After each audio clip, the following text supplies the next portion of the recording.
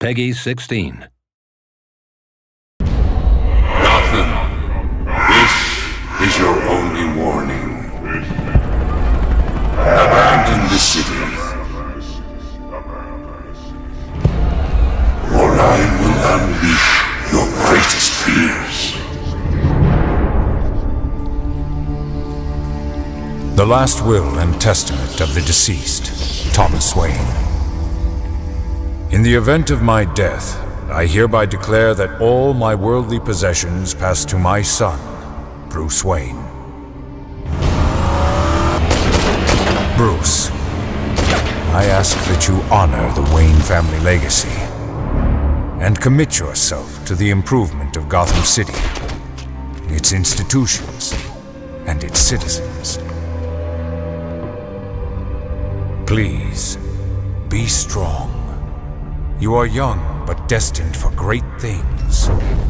Make the most of your opportunities. Use them to give back to a city that has given us so much. To change the lives of millions of people. Do not be frivolous with this wealth. Please do not waste it all on fast cars and outrageous clothes and the pursuit of a destructive lifestyle. Invest in Gotham. Treat its people like family. Watch over them and use this money to safeguard them from forces beyond their control. My deepest regret is I will not see you grow into the good man I know you will become.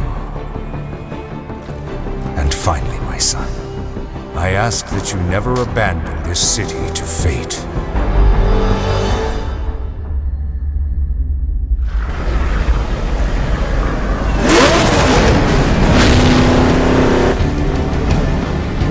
Lived through dark days, and no doubt there are more to come. But it is the good and great men who stand up for Gotham when others turn and run. In death, I will love you forever. Your father, Thomas.